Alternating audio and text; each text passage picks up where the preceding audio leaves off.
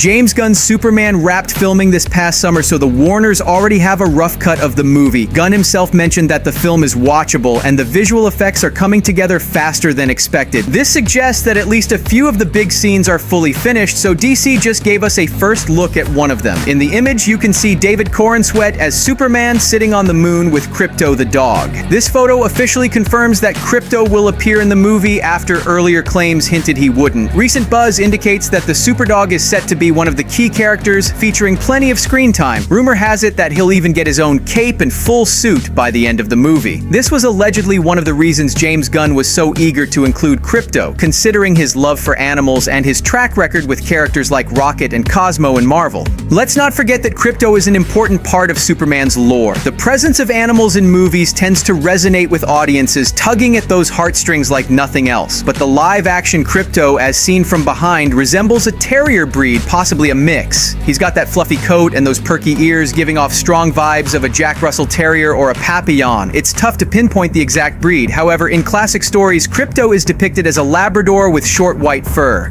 Judging by the scene, it's clear that the movie will be brighter and more colorful than Zack Snyder's Man of Steel. It's possible that this post from Warner Bros. is an attempt to divert fans' attention from the disaster that is Joker 2, which has become one of the biggest flops for a comic book movie. As for the final plot of Superman, details are still scarce, but at least we know from set photos that we'll be seeing a bunch of other DC characters, including Nathan Fillion's take on Green Lantern guy Gardner. Gunn described the movie as something new and fresh for the franchise. His vision for Superman is going to be drastically different from Snyder's take. According to the director, Clark will be the embodiment of hope, goodness, and all those things that are now seen as old-fashioned and overly idealistic. Throughout the story, he'll face moral challenges and debates sparked by modern approaches to fighting power and evil. While Lex Luthor, played by Nicholas Hoult, is being teased as the main villain, Gunn hasn't confirmed anything concrete yet, so it's clear that Luthor won't be the true big bad of this film. That mysterious character in the black suit who resembles Ultraman seems poised to challenge Superman on a physical level, but the heart of the movie lies in the battle of principles. Clark is going to be a beacon of light, standing for everything good in a world drowning in gray morals. Personally, I'm expecting a lot of philosophical reflections. I don't want a Superman that just turns into a dumb action with no deeper meaning, but I trust that James knows what he's doing. We're likely to get more details once the first official trailer drops. David Corenswet mentioned on the Manly Things podcast that some reveals could happen this year. According to him, the Superman marketing campaign will kick off in the Southern Hemisphere, hinting at a major presentation at Brazil's Comic Con, which runs from December 5th to 8th, so there's a strong chance we'll see the first trailer around that time. The hype for Superman is massive, though it's already catching heat from Snyderverse fans who are slamming the upcoming movie before it's even out, accusing James Gunn of misunderstanding DC's visual style and atmosphere. Basically, many of the haters seem to think that if a director makes a comic book movie that's bright and colorful, it's automatically a Marvel copycat. And let's be real, people are still salty over how Warner Brothers, in an attempt to chase Disney's success, pretty much wrecked the DC extended universe in the process. At first glance, I get the criticism, it even sounds reasonable, but honestly, it's just wrong. DC isn't always about gloom, rain, and slow-mo. Even back in 2013 when Man of Steel came out, a lot of Superman fans hated Snyder's approach to the character. It was only over time that people started to appreciate it. Henry Cavill was perfect in the role, but killing him off in the second movie was definitely a terrible idea. So DCEU's failure was about much more than Zack Snyder. It was a complex problem with no clear direction for the franchise. Now we've got James Gunn, who directed the best trilogy in MCU. I wasn't a big fan of Peacemaker show, but the Suicide Squad was solid. Gunn has his own unique style, and his movies are undeniably different from other directors. Whether you like it or not, that's just a matter of taste. Is all about blending humor, vivid visuals compelling with a deep drama. He has a knack for writing memorable characters, often turning to untypical or lesser-known heroes who don't fit the mold of boring good guys. His real talent lies in turning groups of misfits into tight-knit teams, and he excels at fleshing out their origins. Gunn's plots are full of sarcastic humor, but he masterfully balances that with deeper emotional moments, adding layers to his films. Expect all of this in Superman. He's also known for his excellent soundtrack choices, often using iconic tracks from the 80s to enhance the atmosphere of scenes and give them a unique vibe. The way he revives old genres and bands through his movies shouldn't be underestimated. Yeah, Gunn might switch up his usual approach, but something tells me Warner Brothers trusts him and is giving him creative freedom. New Superman will definitely stand out from previous adaptations. James plans to go back to the character's roots, presenting him as a